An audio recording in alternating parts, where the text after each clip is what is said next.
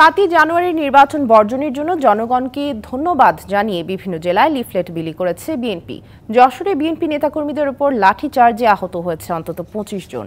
BNP নেতাকর্মীরা জানান, কেন্দ্রীয় কর্মসূচির অংশ হিসেবে যশোরে লিফলেট বিলি করছিল বিএনপি। এ সময় আকস্মিকভাবে লাঠিচার্জ শুরু করে পুলিশ। এতে অন্তত পঁচিশ নেতাকর্মী আহত হয়েছে যতই হামলা হোক, অবৈধ সরকারের বিরুদ্ধে এই আন্দোলন অব্যাহত থাকবে বলে জানান জেলা বিএনপির আহ্বায়ক অধ্যাপক নার্গিস বেগম।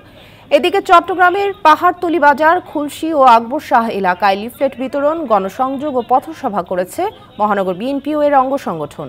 মহানগর বিএনপির আহ্বায়ক ডাক্তার শাহাদাত হোসেন অভিযোগ করেন, চট্টগ্রামের আসনগুলোতে পাঁচ শতাংশের বেশি ভোট পড়েনি। এছাড়া সাতক্ষীরায়, জজকোট, চত্বর সহ পৌর এলাকার বিভিন্ন বাজারে লিফলেট বিতরণ করা হয়।